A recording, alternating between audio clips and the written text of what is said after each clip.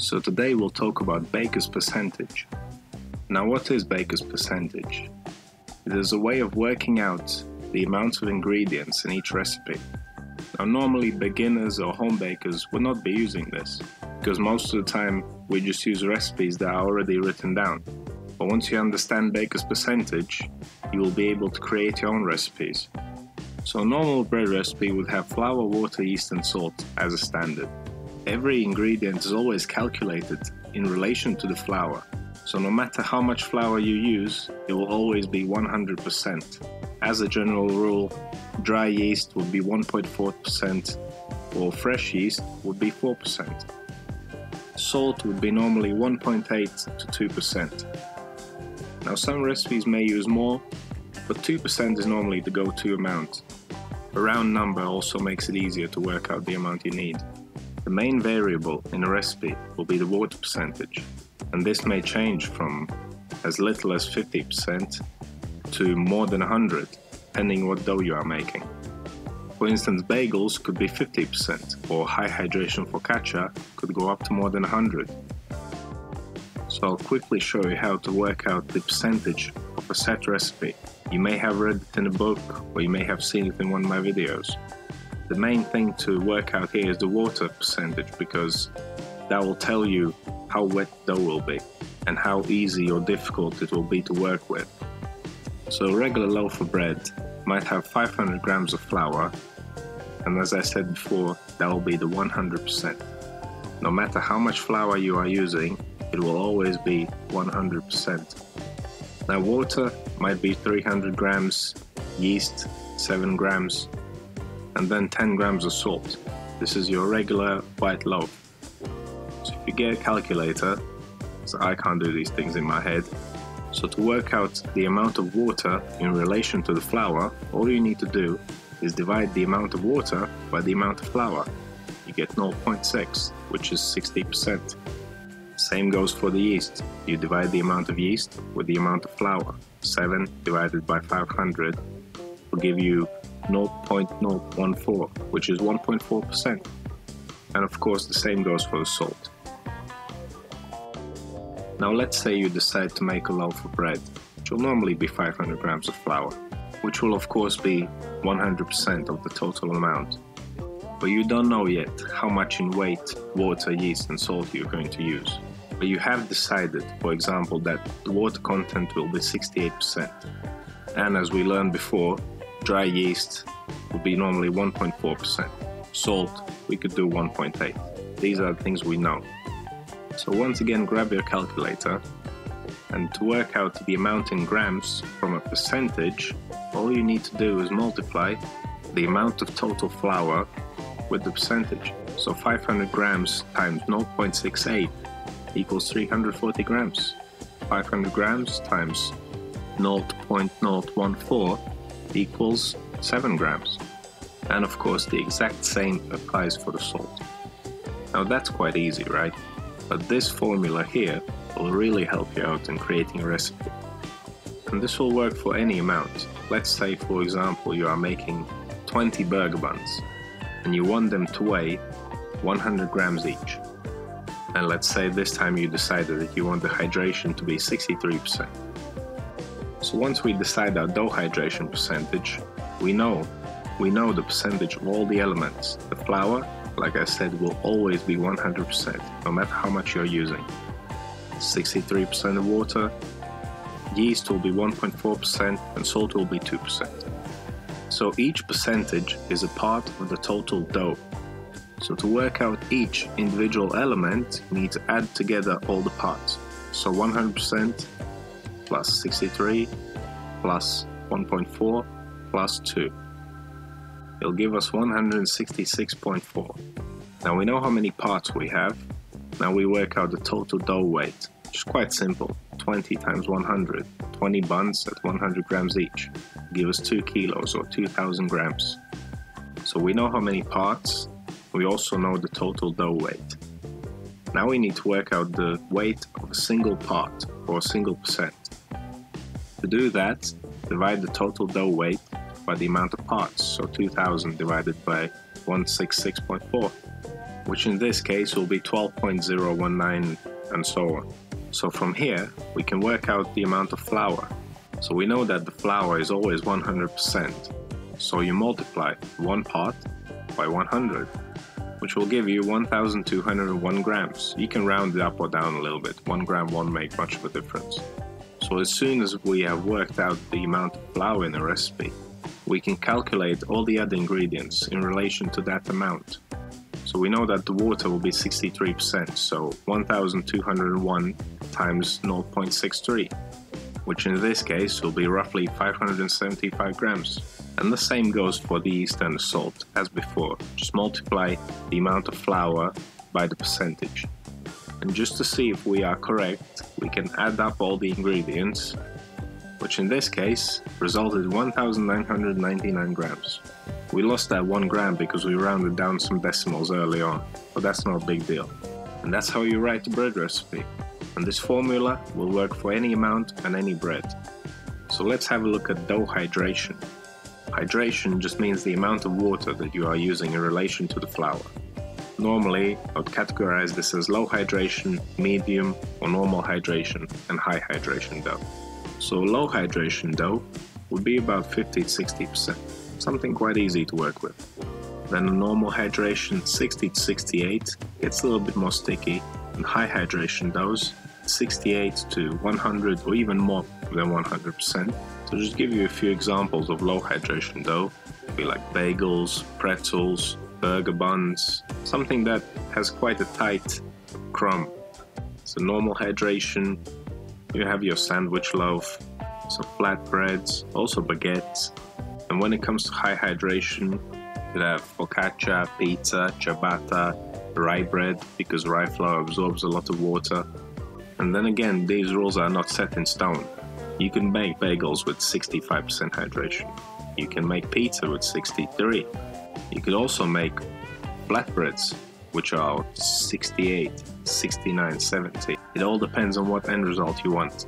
The more water, the more larger bubbles you will have inside your dough. The less water, the more tight the inside will be. I'll show you some real life practical examples of dough hydration. I will make three loaves of bread with the same amount of flour, yeast and salt. The only difference will be water. So start with the first one, 60% hydration. As you can see, I've mixed it all up. It's quite dry, quite flaky. Kneading 60% hydration dough is quite easy as well because it's not sticky.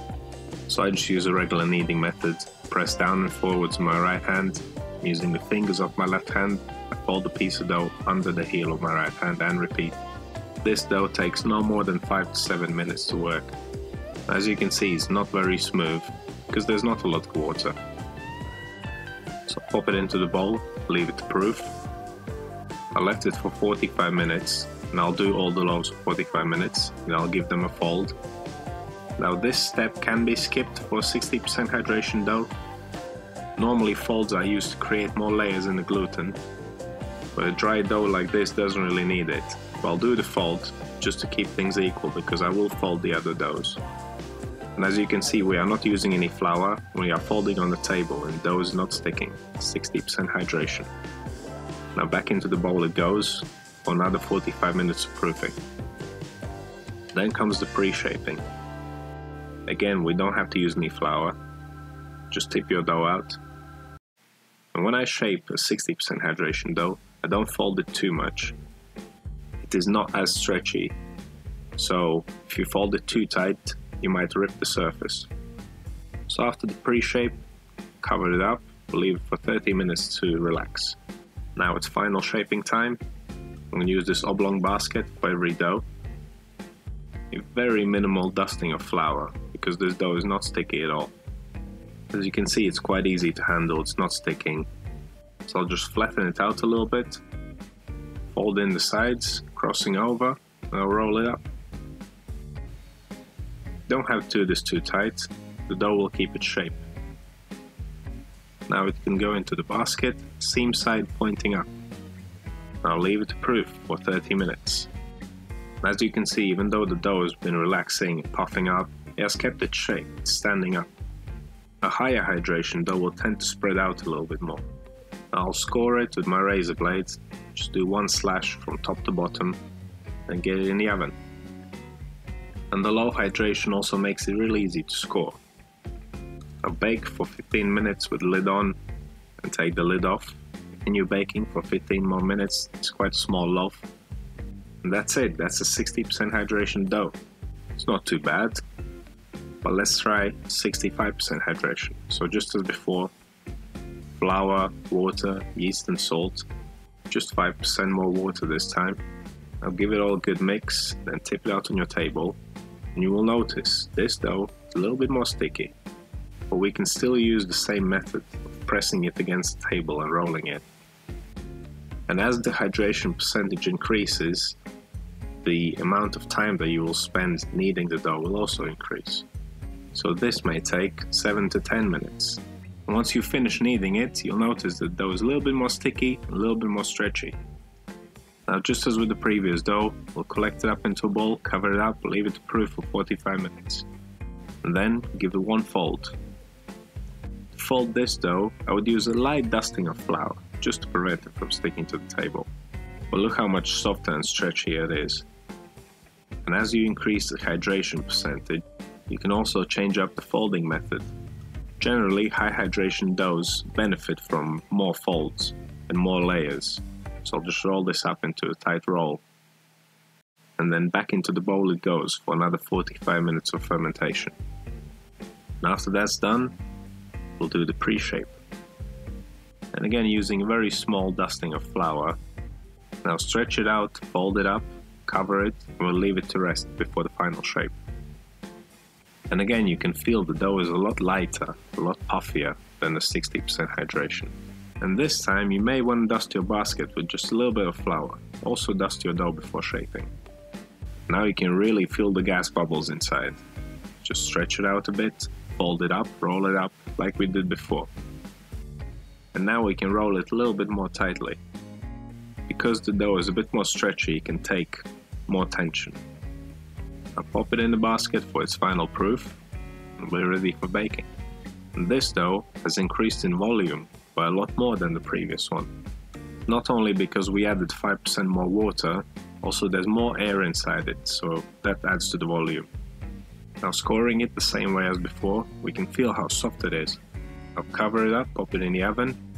Halfway through, we take the lid off, and as you can see, this has risen a lot more then get it back in the oven to finish baking.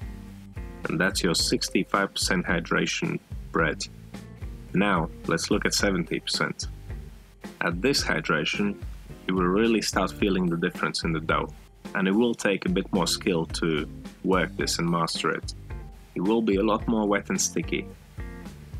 And if working by hand, you'll use a different kneading method. As you can see, this is a soggy mess at the moment. So to knead the dough like this, we use a stretch and fold method. Pick the dough up by one side, stretch it against the table and fold it over.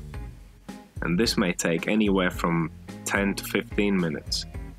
And it might even be sticky when you finish, but that's okay. Get it in the bowl, cover it up, leave it to proof. The most convenient way of folding this dough is doing it in the bowl. This is called the coil fold. Using wet hands you pick the dough up and you roll it underneath itself And then turn the bowl and repeat. So what you might want to do for high hydration dough is give it an extra fold or two.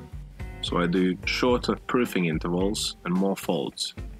In this case, one extra fold. And when it comes to pre-shaping, I dust it a little bit more with flour because this dough is a bit sticky. And then I use a different pre-shaping method as well.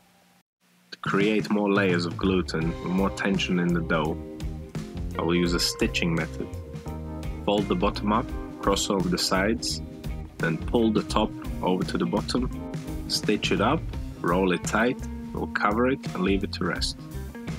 When it comes to sticky doughs, you need to work quickly and with a very light touch. Now come shaping time, dust your basket with flour again, you don't want this sticking. Also dust your dough a little bit more than the 60 and 65%. You will really feel it being wobbly and light and full of air. You should handle it gently but quickly. Now the shaping method changes for higher hydration dough. We use the stitching method.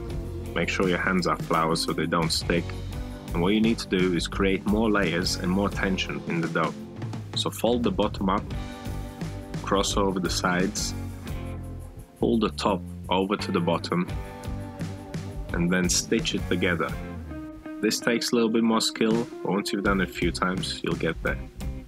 So after stitching, roll it tight, and then get it in the basket for the final proof. And once it's in the basket, you might want to stitch up the bottom just to help it keep its shape. Now we'll leave it to proof, just as before. And as you can see, this bread is huge compared to the other ones. It's nice and wobbly, full of air, really light. So tip it out carefully into your pan. And you can see how soft it is when scoring. You do have to be gentle though. Same as with the other breads, I'll cover it up, bake it halfway through, take the lid off, get it back in the oven, finish baking. And that's the 70% hydration dough. So let's check these all out side by side. So here's the 60%, 65 and 70. Definitely a noticeable difference in volume and when handling them you will feel that and even though the 60% hydration bread has the least amount of ingredients by weight, it will feel heavier in the hands than these larger high hydration doughs. The more water there is, the more it will expand, the more air there will be inside it.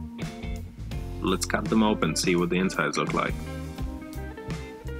Now the 60% hydration dough is a denser crumb, which is not a bad thing, it's all up to you what you want to make with your bread. Now the 65% hydration will be a little bit lighter. There's more bubbles that are more spread out. It's definitely softer. And the 70% hydration just bumps it up a notch. You'll get even bigger bubbles and a softer crumb. And if you made it to the end of this extremely long video, I hope you learned something. If you have any questions or suggestions, write them down in comments. If you are new to this channel, subscribe for more videos. And as always, thank you for watching.